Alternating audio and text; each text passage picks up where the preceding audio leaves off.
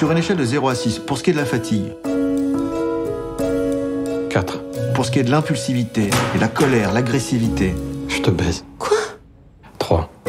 pour ce qui est de la tristesse, 6. Tu te sens vraiment triste? C'est un trauma crânien franchement grave. Il s'est passé quoi au juste? C'est-à-dire qu'en fait, il a eu un choc derrière, mais la bosse, elle est devant. Je vais vous proposer un traitement nouveau. Et puis, il faut qu'il soit bien entouré sur le plan affectif. Merci. Combien on te doit 150 euros. En chèque ou en espèces parce que je prends pas la carte bleue. Bah, je vais prendre ton chéquier, Doudou. Putain, vous avez décidé de m'emmerder jusqu'au bout, là. Euh, maman, tonton, là, c'est l'exorciste. On le reconnaît plus du tout là. Il est plus irritable, donc forcément, il est un peu plus agressif.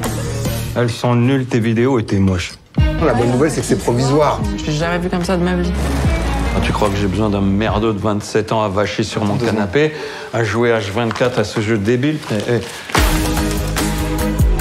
T'as ton petit frère qui est inconscient. Encore une fois, c'est moi qu'on appelle. Moi, j'aurais pu gérer, mais on me demande rien. Bah non, on sait qu'il faut pas compter sur toi. On te dit tous la même chose en fait, mais tu veux pas l'entendre.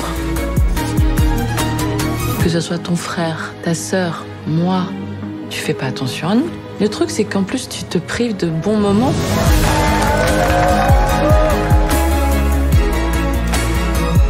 J'ai besoin de vous. Vous êtes ma famille. Je vous aime. ça se voit pas. Moi, J'aurais adoré avoir une famille comme ça. T'es triste? Sur une échelle de 0 à 6, tu dirais combien?